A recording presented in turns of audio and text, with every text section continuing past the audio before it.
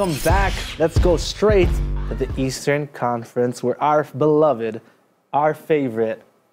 Let's go one and eight, guys. One and eight. Let's go. The one versus eight. Go ahead. Raptors versus the Wizards. Who, who do we got here? Who do we got and how many games? Okay, first of all, I'd like to say that the context is different. Even though Wizards was the, the team that swept us uh, three, four years ago, Yeah. and even though Wall and Beal are, they match our backcourt like superstar prowess, the Raptors are a different team.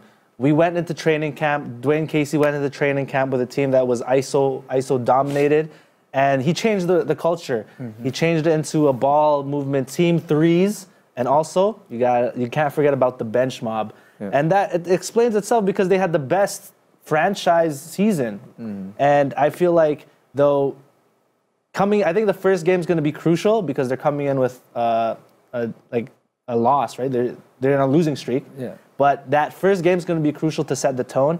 But I'm still going to go with the Toronto Raptors because when it's time to shine, DeMar DeMar no other- there's no other way to really go about this. Yeah. Like, It's they've been this. I think this is the best team they've ever assembled fr- in terms of the franchise history. Mm-hmm. Yep. And uh, surprisingly, it's a their series on the season is two two, so they both have each other's number.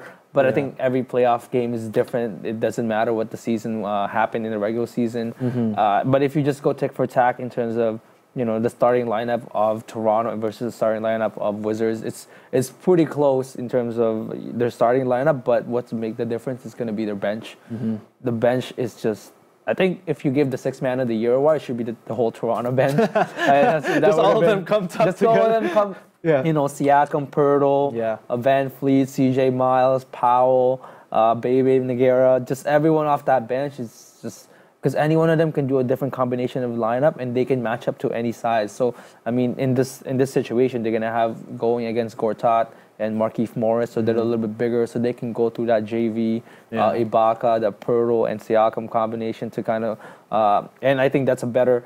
Uh, they don't really have anyone on on the Wizards in terms of their depth that can really go against the, the, the bench of the Raptors. So I actually would I can see this as a sweep if if Raptors if the Raptors just stay That's in payback. if they stay focused on what they do best and Yeah. they don't and they don't freak out during the playoffs and they start doing isolation basketball that's that's the only thing I'm worried about in terms of what the Raptors gonna do. But if they just stay on lane and, and just play the game that they've been playing the whole season, that spread the ball ball movement, bench playing together, unselfish, I can see this as a sweep. A sweep? Yeah. I would love to see a sweep. My mm. thoughts on that. Bring the Wallace. No, it is. I know, the, but the, again, the difference, like you said, is the bench. Like the mm-hmm. bench, like in past playoffs, when Demar or even Kyle Lowry were out. There's nobody that Yeah, there's no one. There's no one that mm, could lo- help. I, I forgot score, to yeah. mention the Lon Wright's you mm. know improvement too. That's like a whole. There's 12 team deep. It's hard. Yeah. It's, that's what you need in the playoffs. I know uh, most teams are most experts are saying once playoff starts they shrink the rotation. But with the Raptors, how are you going to shrink a rotation mm. that has 12 team in terms of that can play mm. basketball, that can play NBA level basketball, not just NBA level, maybe playoffs too. Just what we'll find out. What's happening in the Raptor organization? And we got mm. Lorenzo Brown to an MVP. Imagine And he's been signed. He's been they it- signed him for a contract. and they the calling season. him up like Raptors. Yeah. You're doing. BioSteel. Yeah. What's in your drink? I'm just. All right. What else do we have? Uh, we got the second matchup, the two and the seven. It's gonna be a good one, but unfortunately, we're gonna have no Kyrie Irving throughout this series. So Boston against Milwaukee. Mm-hmm. Who you got winning, and how many games?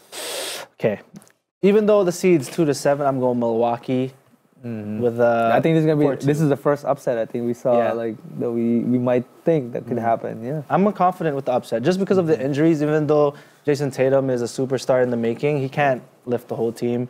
But they're all missing. They're missing crucial players like Yeah. they're missing Irving, Hayward, Hayward, Smart, Marcus Smart. right? Yeah. Thesis or uh, thesis. I don't know. Tice. His name is Tice. Tice. But they're missing a lot of players, and it's just sad because Boston was a big favorite going into the playoffs, and Milwaukee. Come on, you know who It's I'm hard to about. go against. Yeah. a god. How are you going to go against the god, the Greek god? and I think it's I think it's the first time that the Greek god can actually take his team all the way to the Eastern Conference Finals because all the hard teams are on the other other side of the bracket, right? It's hard to go against, yeah, Mm-hmm. a, a team like Milwaukee, who has the best player in the series right now. Mm-hmm. And, and like we mentioned, like in the playoffs, the stars becomes much more valuable than they've ever been in the regular season. So Yeah. You got the best player on the other team, and I feel like they also have the second best player with Khris Middleton. He's been so Yeah, underrated. he's People don't know his name, but he's you know people think he's average middle, but he's actually like It's like legit. Middleton. He's not. Middleton is Yeah. a basketball He player. can shoot. Yeah. He can. He does playmaking for them. He sets up Giannis a couple times, and Jabari's back too. Bledsoe is Bledsoe. a good addition. This is a this is a dark horse team in terms of how far they could go into the playoff. Yeah. And they have a pretty good road in there. They don't have to face LeBron, so Yep. they're gonna go against Boston, and they can go against Toronto if they go past or Washington. Yeah. But I would say Toronto. Yeah. So this is a pretty good path for them, a dark horse. Very team good if- path for them. because they have a good matchup in Boston, and I can see them winning this in six because I feel like they're still a little young and Yeah. the playoff experience is still not there.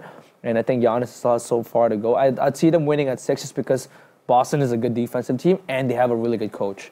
That Yeah, that so- that yeah. I think would do the X's and O's and would really have them focused and locked in defensively and would find a way to really have them score because which that's something that they're gonna struggle without Kyrie. Mm-hmm. Yeah. So I'm I'm I'm a Milwaukee on that Milwaukee, one. Upset. I I'm gonna am upset, too. man. But how many games do you have of them? I got I got them at at, at six just Yeah. because of how good Boston. Is. Yeah, I think so too. You gotta. Their co- Boston's coach. What's his name again? Um, Brad Stevens. Brad Stevens. Yeah, Yeah. Brad Stevens. Yeah. Let's go. This is one. This is gonna be a good one too. Philadelphia versus Miami, three and six. We got winning and how many games? Three and six.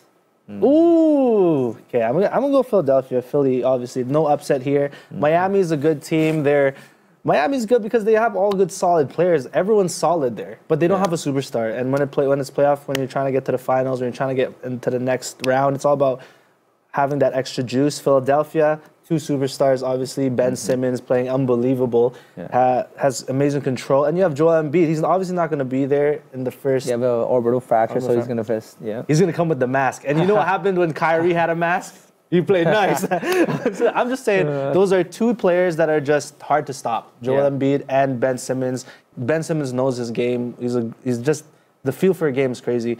So I feel like Philadelphia will have a, a good, a easy, not, I won't say easy because also the other context and the other theme of that is that they're young versus a very veteran squad. It's young versus veteran.